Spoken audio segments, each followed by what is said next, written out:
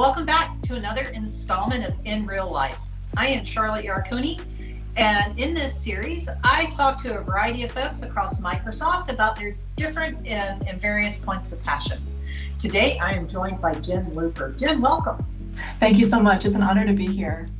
I understand your particular passion is in the area of digital humanities. Can you tell us what that is? I think it depends on who you ask. I think it has to do with using old tech or using new techniques to apply to old fields of inquiry, old humanistic disciplines or well-established humanistic disciplines. Could you say a little bit more maybe about your views on the pandemic and, and some of the techniques that you've been thinking about and learning? I think that we're here for the duration. I've been lucky that I've been working, um, uh, I've been leading a pilot for museums and libraries um, in cloud advocacy.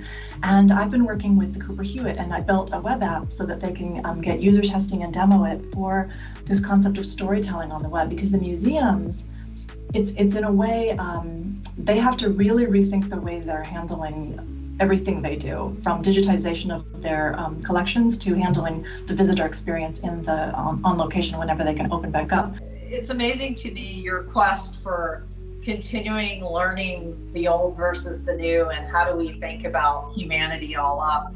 Um, I, I, would be remiss if I didn't mention that you were also a Fulbright scholar. Can you talk a little bit about that? Because that's quite the honor. I was lucky enough to go to France on a Fulbright and have the opportunity to work with the manuscripts that I wanted to work with. And um, I'm one of the few Americans who's had this privilege of really working with the 13th and 14th century manuscripts. And what a privilege. It's, it's amazing the lens by which you think about these different things and how you are actually taking advantage of your extremely technical background to kind of get more dimensions and, and more interest coming out of them. So thank you so much for that. I think that's all the time we have. Jen, thank you so much for joining us. Thank you. I appreciate it. I'm Charlotte Yarkoni.